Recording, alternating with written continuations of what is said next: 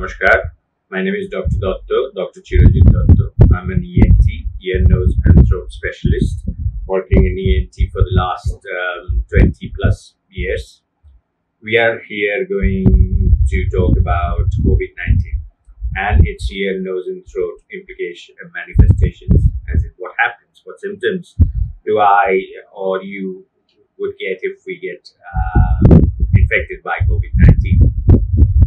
Firstly, uh, it's, it's, it's a pandemic, as in it has spread, the virus has spread to all the continents except Antarctica and has affected lakhs, literally lakhs of people. But the thing we need to know is we need not panic.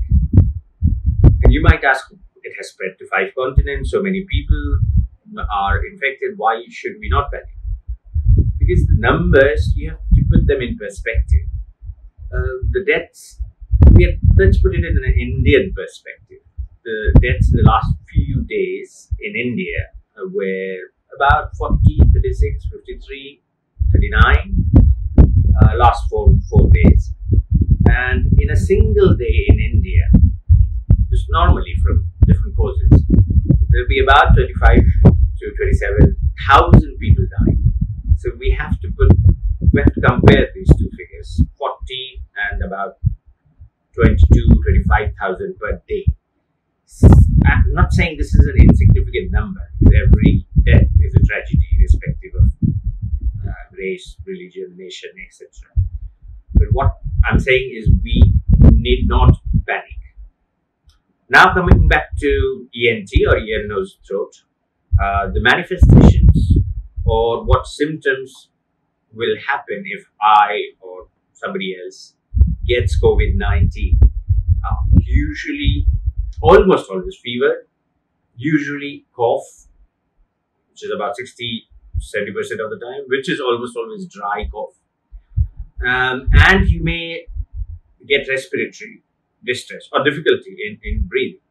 In that case, you need to get in touch with the nearest healthcare provider it could be your family physician, it could be the helpline numbers, and they are really guiding you in a very, very useful uh, and very um, uh, efficient manner.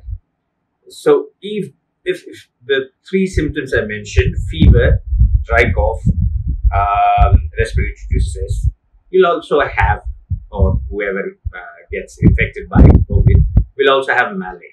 Another thing, malaise as in body Another thing we need to remember is most of the time, even with an infection of uh, COVID 19, most of the time people will not have any symptoms. They won't have any fever, they won't have any cough.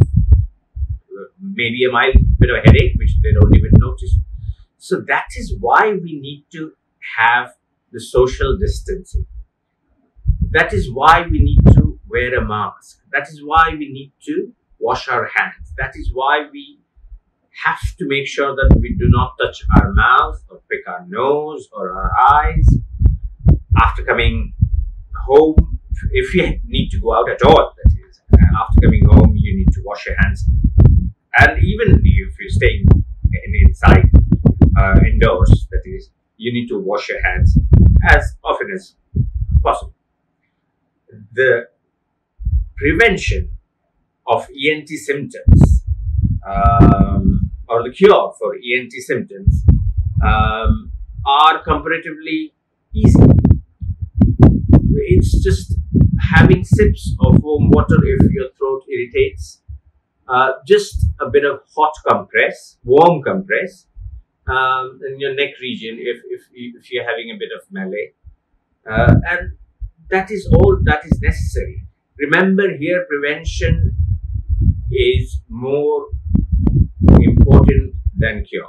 And the prevention lies in my hands, in your hands, uh, and in, it is everybody's uh, business to prevent this disease from spreading any further.